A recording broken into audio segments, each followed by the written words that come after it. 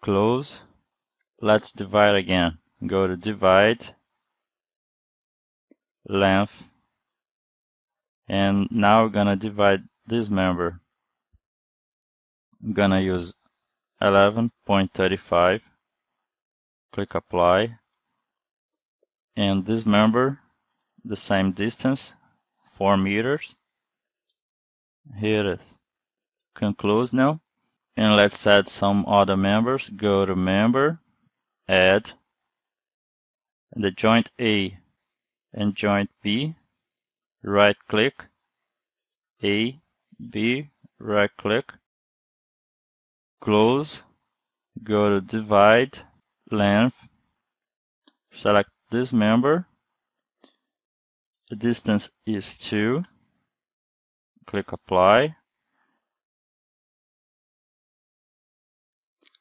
select this member now, I'm gonna use the same distance 2, then click apply. Now I'm gonna use 4, and for this one also the same distance.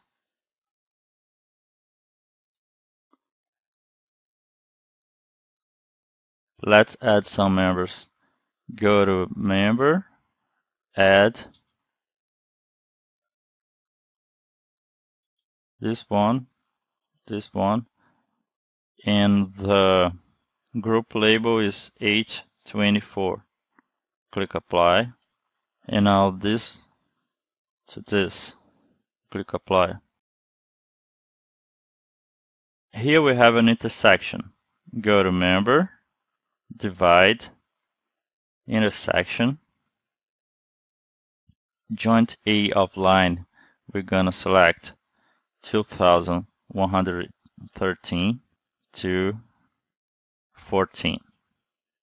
And the member that's going to be divided is this one and the new joint name is 2115.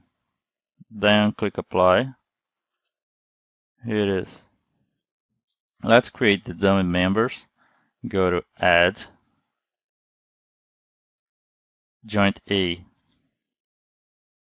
joint B, and the group is done. Click apply and let's do this for the others. Go to member, add,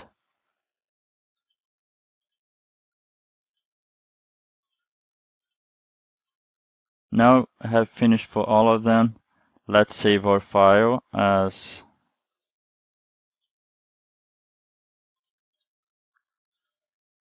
Now go to Display, View, Face, Row A, click Apply, close go to Display, Group Selection, and let's turn off the piles and the wishbones.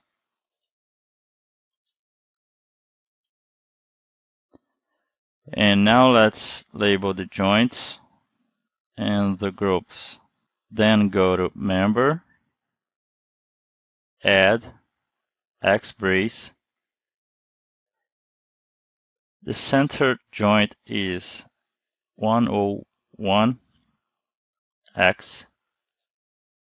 And let's start clicking here, then here, The group is BR1 and BR2.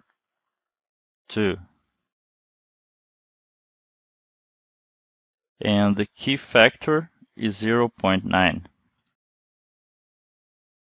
Then click apply.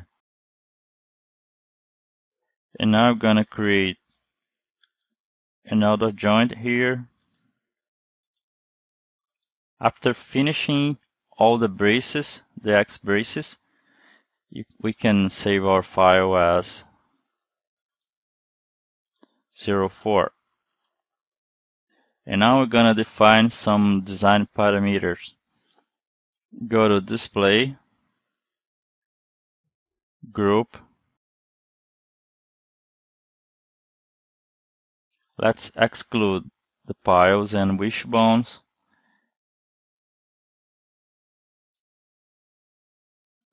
Hold on Control key, select these ones also, and the conductors. Then click Apply. Close, go to Joint, Connection, Automatic Design.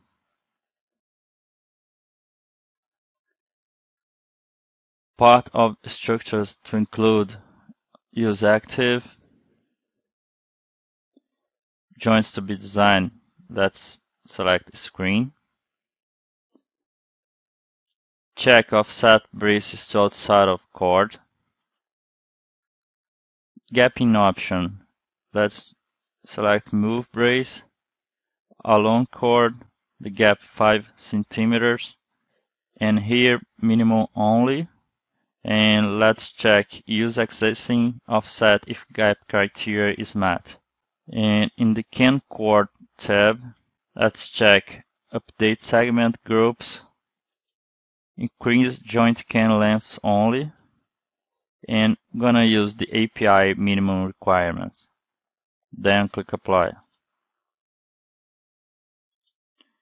Take a look at our joints.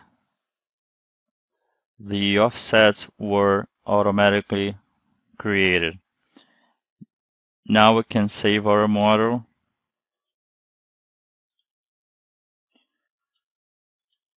as 5. To finish,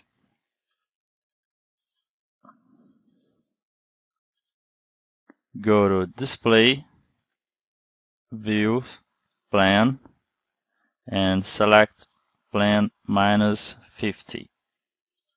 Then click Apply.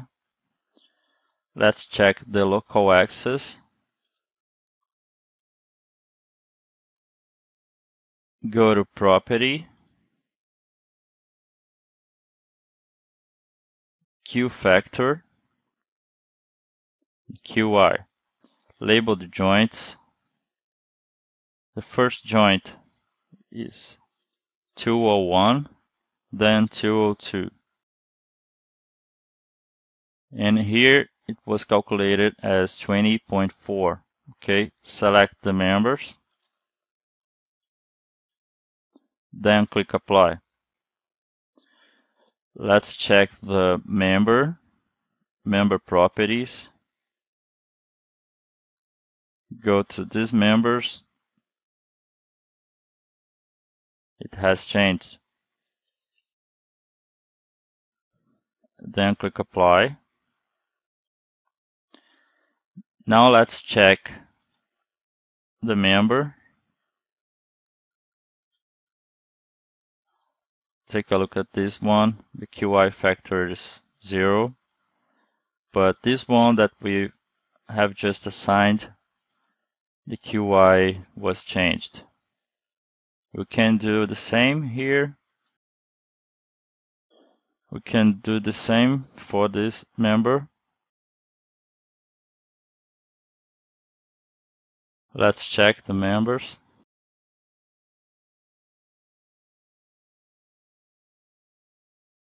And now let's do it for all the others.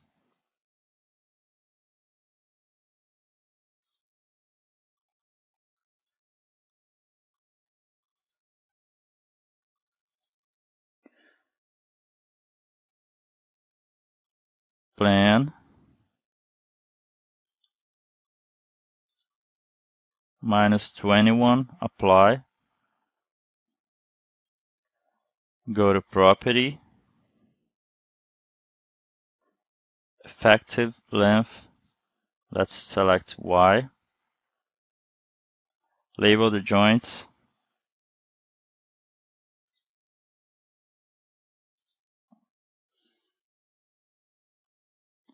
The effective length is this. Select the members, then click apply.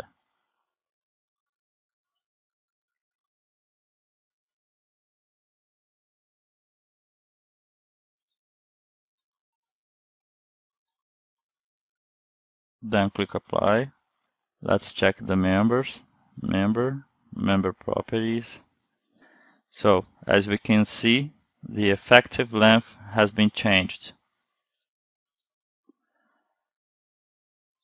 Close. Let's do this for all the other elevations and save our file as 06. So that's it. I hope you guys enjoyed and thanks for watching.